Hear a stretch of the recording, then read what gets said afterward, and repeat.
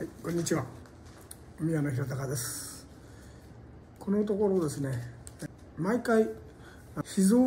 に感染する感染症の話をしてますけれども、ここ3週間以上そういうのが続いてますけども、今週に入ってからは毎日どんどんこううなぎ登りに悪くなってるという状態で、今日は最悪と言っていいんじゃないかなというのがですね、うんと負けてる人は自律神経の反応が一番先に出て我々赤丸と呼んでいるいわゆる落第点。この線よりも落っこっちゃった人に赤丸という落第点をつけるんですけどもその時には自律神経が一番弱ってると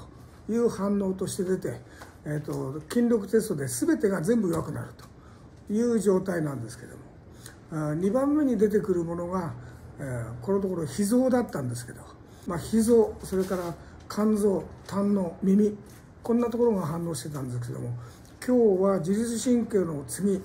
生命力を少し上げる治療を少しするそうすると一番最初に出てくるのが今日は脳大脳だったんです。でこの、感染症が大脳まで来るというのはこの50年で3回目、えー、と最初が24年ほど前に、最初に脳に感染症が入ってでそれ以降、えー自律神経系が非常に弱くなって免疫力が極端に下がり世の中中の人が全員その初心の人は全員赤まるという状態に前代未聞の状態になってしまったと。そのままずっとどんどんどんどん体内ウイルスヘルペスウイルスが増えてどんどんどんどん、うん免疫力生命力とも落ちてですね寿命は伸びていて、えっと、平均寿命は伸びてるけれども、介護が必要な状態というのはだんだん良くなってるんではない。寿命が伸びてるんだけど介護の必要な状態がだんだん先で年になってっていう状態だったらいいんですけど逆に若いうちに介護をしなきゃいけない。といわゆるこの介護のやらなきゃな長いなあこの期間が長くなってるという状態。これはこのヘルペスウイルスが増えて全身的に全部悪くなってるということなんですけども全身の状態で悪くなると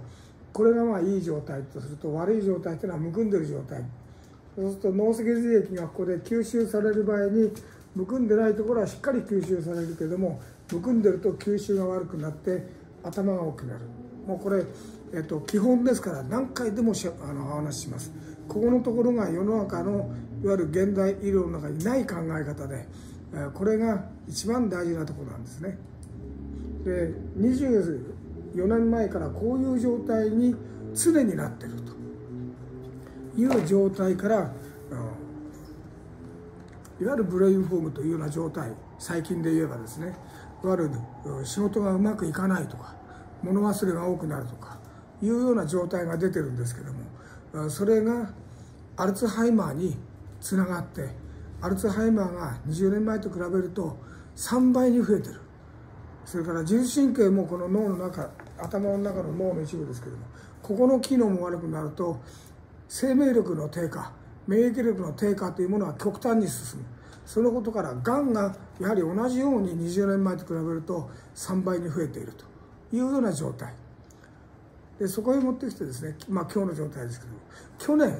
骨髄に感染する感染症っていうのが去年の2月に猛威を振るいました。それから、えー1月から流行ったんですけども約13ヶ月上がったり下がったりしながら一番のピークが2月でした。今回は3週間ほどこう流行ってるんですけどそのピークが今来たんじゃないかというような状態で脳まで来てしまった。脳に感染が入ってきたというのを我々検査していくとこれが史上3回目であると。そうすると脳炎を起こしてで死んでしまうっていうほどそういうところまではいかない、えっと免疫機能がありますから。ですけれども、えっとそのそれとずっとじゃないんですね。一過性でなる。ですから中には脳炎を起こして死んでる人もいるかもしれませんけども絶対数としてはそれが世の中で騒ぐほど多くはない。でもその影響というのは残るわけですね。今は世の中中の人はみんなこういう状態ですからそこのところにえーと、脳というのは脳関門といってばい菌がやたらには入ってこられないようにできている。またお医者さんが例えばアルツハイマーの薬を投与しても脳の中になかなか届かないという。そういうような、えー、細菌もまた栄養もですね糖分しか届かないとかいうような状態でいうのを脳関門と言いますけどもそれを超えて入っていくというのはこの脳の血液の中から血管から入っていこうとすると入れないんですけどもこの一番下の方からこういう末端のところからですね脳性血液を通してこの中から入ってしまうということが考えられる。でそれはそのウイルス量がうんと多いとそういう現象が起きるというのが今回の原因だろうとですからその,、ま、その結果またこういう状態がさらに悪化してアルツハイマーがさらに増えていくということが懸念されます。えーと、アルツハイマーっていうのはどういう病気かというと脳の老廃物であるアミロイド β というのが蓄積されて、えー、神経細胞が壊されるそのためにアルツハイマーになるというふうに言われてますけどもアミロイド β がじゃあなぜ出てくるのかという話は全くない。これはあの全て他のことのもそうなんですけども現代医療というものは何か物質が出てきたとかいうことはどうして出てくるっていうところは一切話には出てこないんですね。ですからこのような状態になって頭の代謝が悪くなる。十分細胞が栄養をいただき、えーと、老廃物を排出してそれが元に戻っていくということがうまくいかないこういうような状態に脳がなってくるそうするとアミロイド β が蓄積されるというようになるわけです。で今朝今朝じゃなくて昨日の朝かな、えーと、やはりアルツハイマーの話をちょっとしてました。えーと、どんな話かというと昼寝です。昼寝を30分ぐらい毎日するとそうするとアミロイド β のたまり方が少なくなる。いわゆるアルツハイマーになるのが多少減るという話をしてました。その代わり1時間以上寝る。昼寝をそうするとかえって、アルツハイマーになる確率が高くなる。じゃあその理由は？まあ昼間ちょっと休むのはいい。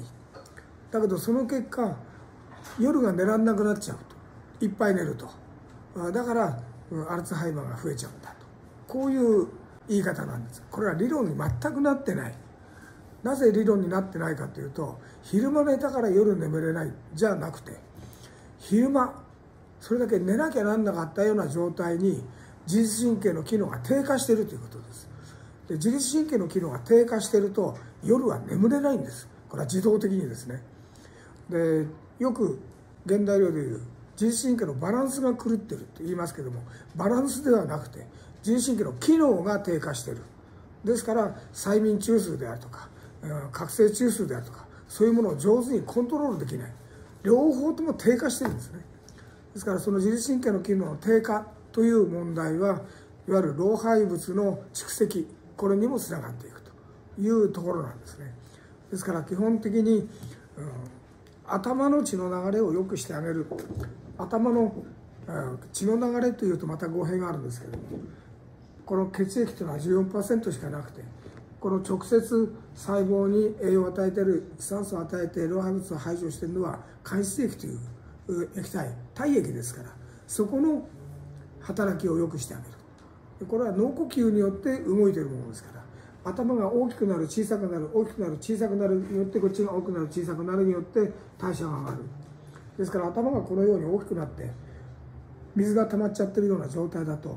全ての脳だけじゃなくて全ての臓器全ての器官で代謝が悪くなって細胞に栄養と酸素がなくて老廃物炭酸ガスが溜まってしまうという状態が起きるわけです。そうするとその細胞が分裂して、え分裂する時にですねコピーミスが起きる、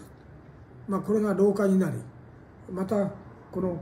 頭がうんと多くなって自律神経の機能が低下してくると,、えーと免疫の暴走というのが起きる。またがん細胞がん遺伝子の暴走が起きる。いわゆる細胞の分裂これが歯止めがかからなくなってどんどん増える。これががんなんですけどそういった暴走が起きるということ。ですからがんが増える。アルツハイマーになると。いずれもこの頭がでかいという。これが大きな原因で。でそれにはここのところでは陽気の変動というのは非常にここのところ多いわけですね。それとこの新しい今までにはなかった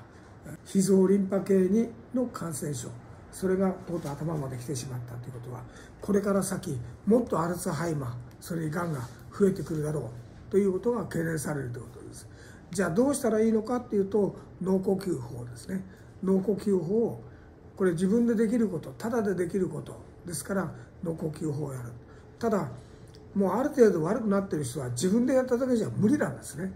ですから確実に年を取ってっちゃうとなりますからやはり治療を受けて、えー、脳呼吸法は十分にできるように、うん、体液の流れを循環をうんと良くする。その場合には生命力が必要なので生命力の元になる骨髄を治して血液を良くし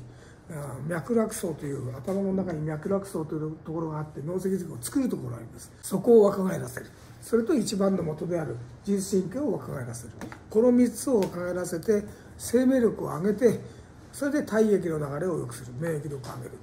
る。これは治療としてやらないと自分だけの脳呼吸法だけではそんなにやらないよりやった方がいいんですけどこれはもう普通の一般のマッサージとか整体とはもう桁が違うぐらい効果ありますから自分でやってもですね。ですけど具合が悪くなってきた人は治療としてそこをしっかりやればですねまるで嘘のような状態の効果普通の現代医療では治らないものいわゆる免疫力が上がり生命力が上がり体が若返ってくるというところまで治療ができるのが脳脊髄液調整法なんですね。ですからこの映像を見てる人はですね、えっと、患者さんであれば治療を受ける先生であればぜひその治療を頑張って得得し広めていくということに努力されることを願ってやみません。